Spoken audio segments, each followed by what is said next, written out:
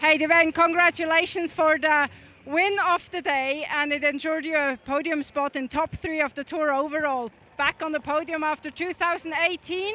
How does it feel doing this Tour de Ski?